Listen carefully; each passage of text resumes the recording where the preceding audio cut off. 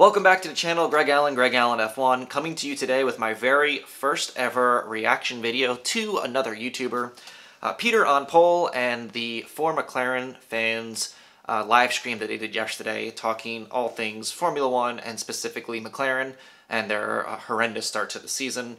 Uh, obviously, being a McLaren fan myself, not really what I want to see. Very cool live stream they did. If you uh, have not heard of their channel, go check it out, Peter on pole. Uh, definitely a smaller channel coming up, very fun. I hopped onto their comment section yesterday and got right involved with uh, some comments. Which brings me to the topic of today's video. Daniel Ricciardo in a McLaren, does he have the nerve to get everything he needs to out of that car? Or is he maybe on the downward trend in his career? That's what I want to take a look at.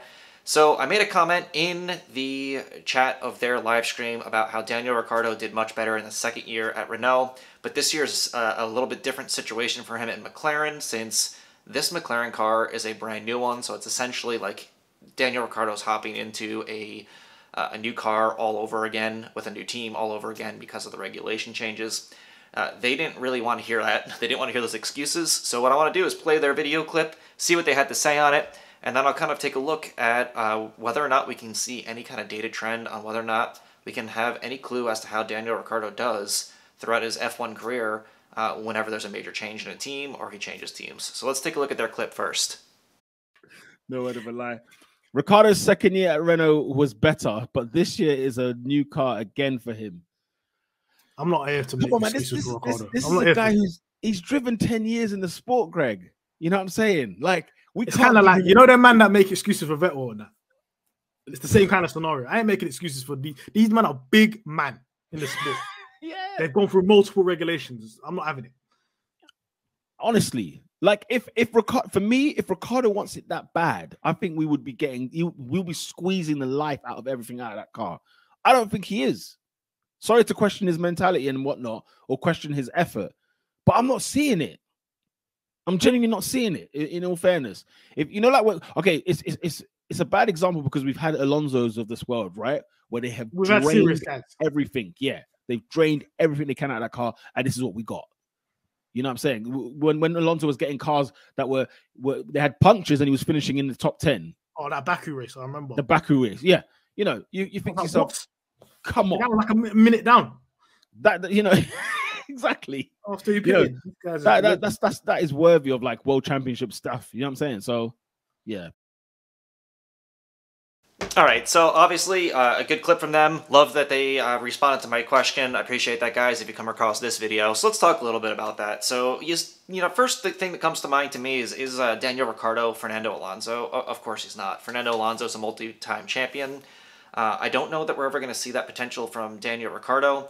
Uh, I also think their driving styles are very different. Uh, I, I think they're not comparable drivers in that way. Um, but I do see the validity of the point of yes, Fernando Alonso has this amazing ability to get the absolute most out of a car he's in. Uh, we see that constantly. But is Daniel Ricciardo, you know, they're starting to keep an eye on him later in that video. Is he maybe not giving everything he can to McLaren? Um, he was so vastly outperformed by Lando Norris, it seemed. So what I want to do is do what I do best on this channel, take a look at all of the numbers. So let's get right into that on my patented whiteboard here that I stole from another channel. Not an F1 channel, though. So Daniel Ricciardo, the good old number three here, he is 32 years of age. He joined Formula One in 2011. Uh, has eight wins at the greatest, you know, motorsport in the world. So at the pinnacle, eight wins is nothing to uh, shy away from. That's a fantastic accomplishment. 32 podiums and 1,274 points throughout those last 10 years of racing, as they said, 10 years into it. But let's take a look at his stats career wise when we go in year by year about every team. Joins with HRT, and I'm actually going to move this over just a little bit so we can see it a little bit better. No science to my channel here, obviously. HRT, he races 11 races, you know, goose eggs across the board here. Uh, no points, and in the driver standings, he winds up with a 27th here. Then he joins Toro Rosso, and that's when we start getting to see Danny Rick for what we know him today. It's the very early ages there. So year one, he gets 20 races in there, zero wins, zero podiums, but 10 points. So he does finish 18th in the driver standings. Still nothing incredible, but it's those year twos that I kind of made a claim about in that video that I wanted to focus on. And early on in Toro Rosso, he races one less race and does prove me right.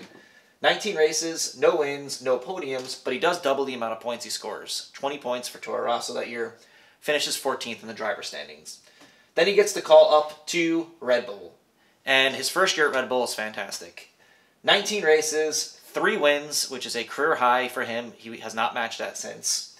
Eight podiums for 238 points, which is second all time for him.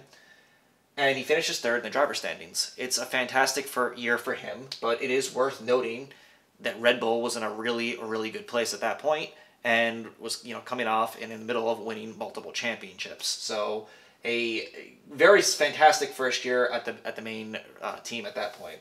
Year two, my theory gets shot to hell at this point because year two, Red Bull has some struggles and takes a big step backwards. He races 19 races, no wins, just the two podiums, 92 points, eighth in the driver standings, still a top 10, which is where Danny Ric has, has lived most of his career is in that top 10, so that's good.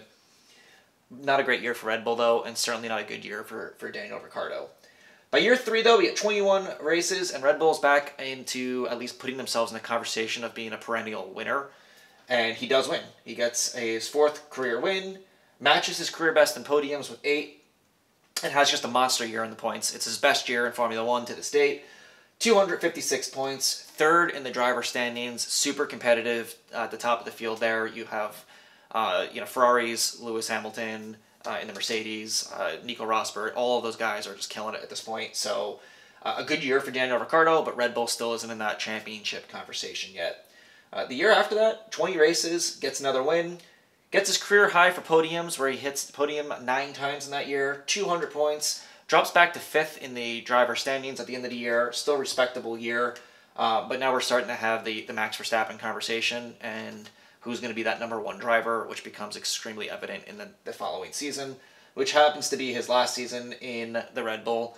21 races, he gets his two wins. His big issue here in this year, reliability was a massive issue for him. He could not finish races, tons of retirements, and as a result, he drops down just two podiums, which for a Red Bull is not good. It's his second worst year in the Red Bull and podiums. Only this year, uh, Max was getting a lot of them. So that was a big glaring issue for him in 2018. Does get redemption at Monaco, of course, so a fantastic race for that one. But he drops down to 170 points and falls back to sixth in the driver standings, and of course, famously makes a decision that he is going to vacate that second seat at Red Bull and move on to a new team. So we go over to Renault, 21 races in his first year with Renault, zero wins, zero podiums, just a measly 54 points. It's one of his worst careers in Formula One, but I think it's also important to point out Renault looked horrendous that year. They had all kind of issues. Um, Nico Hulkenberg did not look any better in that car. And we've seen what a super sub Hulk can be. Um, they were they were on the precipice of kind of turning around that team, and Ricciardo definitely struggled. It was a, an absolute struggle. In my opinion, a bigger struggle at Renault's first year than McLaren was last year. Um, except for maybe pace compared to his teammate. I think that's why it's so glaring what happened at McLaren, but let's not get ahead of that. Year two at Renault, which was my claim in that video, 17 races, no wins, but two massive podiums for him. He was constantly in the top eight. We were seeing that from him a lot, and towards the end of the year, we saw it from Esteban Ocon as well. But he really had a uh, a great season, a great year too, and there was a lot of questions because going into that season, he already made that decision to make the move to McLaren, and everyone was kind of wondering, myself on this channel too, was that the right move for Daniel Ricciardo? Um, obviously, I wanted him over at McLaren, but the way Renault was trending, he might be thinking now, was that the right move? Gets 119 points, back up to fifth place, which was his best in four years. So another really good year for him in the driver standings, and I think that's what you're getting with Daniel Ricciardo. Regardless of how bad it seems to be going for him, even he, when he has that bad first year, he has consistently finished in the top 10 in points uh, pretty much every year of his career. So, um, since going to a major team, I should say. So now we move over to McLaren last year, 22 Grand Prix. He does get a massive win there. Uh, really needed because, yes, as Peter on pole did mention, and, and they talked about a lot, uh, he had a really bad year last year in McLaren from what the expectations were. And the difference between, I think, last year versus his first year at Renault is absolutely the fact that uh, Renault, both drivers were struggling and kind of around the same pace. And it was definitely a team and equipment issue. Whereas last year, Lando Norris raced really well and had a very, very good, solid season again. The team did really well in the constructors, but Ricciardo was struggling to adjust to that car and struggling to maintain same pace as Norris.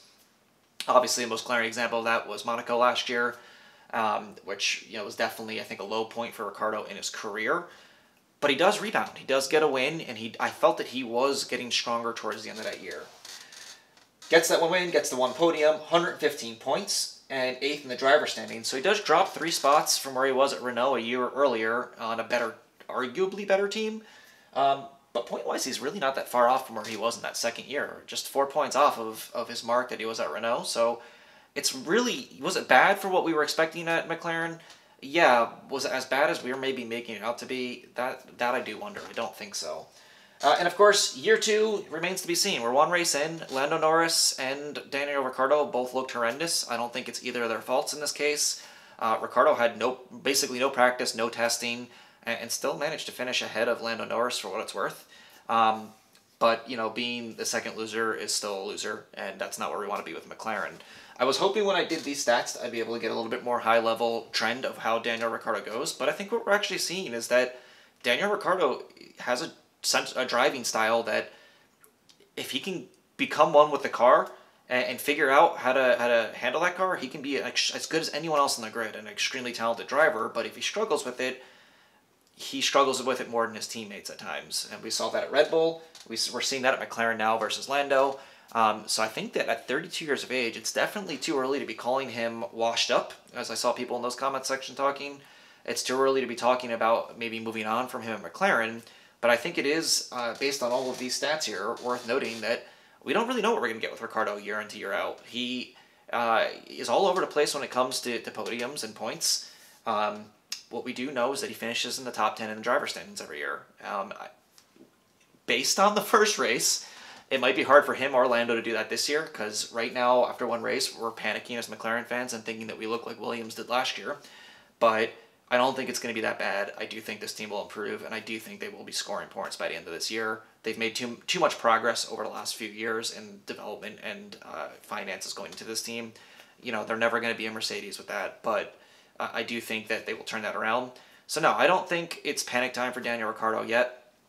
And if he's on a bad team this year and McLaren winds up being bad, one race in, he's already shown that he can outperform Lando. It's such a small sample size; it means absolutely nothing. And you know, Lando is going to be much better the rest of the year as well. But it's going to be tough to get a full, accurate judgment on Daniel Ricciardo if this team is struggling all year, and we might just have a, a teammate comparison to go on by the end of the year. I personally think that he's up to the challenge. I, I would not, by any means, be selling if this was stock market on on Daniel Ricciardo yet. One thing they did talk about in their video too is where would Daniel Ricciardo go after McLaren, and I do agree. There's not a lot of options, you know, in Formula One. Uh, I could see him making some moves outside of F1, maybe going to IndyCar. Uh, I know a lot of people are speculating on NASCAR. I don't think that's a great fit for Daniel Ricciardo. Um, F1 drivers in general have a hard time making that transition, and at this point in his 30s, uh, we have really seen drivers fail try to do that in their 30s in NASCAR. It's a totally different type of motorsport, so um, but I, I, think it's too early to be having those conversations. I think Daniel Ricciardo is going to be with McLaren for another couple years after this, to be honest with you, uh, unless a, a Pato O'Ward winds up making the move over um, and, and, gets pushed by McLaren. I, I think you're going to see Danny Rick here for at least one to two more seasons after this. So hope you enjoyed the video. If you came across this, check out Peter on pole's channel, of course, and of course, like and subscribe this one. My driver power rankings will be coming to you tomorrow. That's Thursday, right before the Grand Prix. See you in the next video.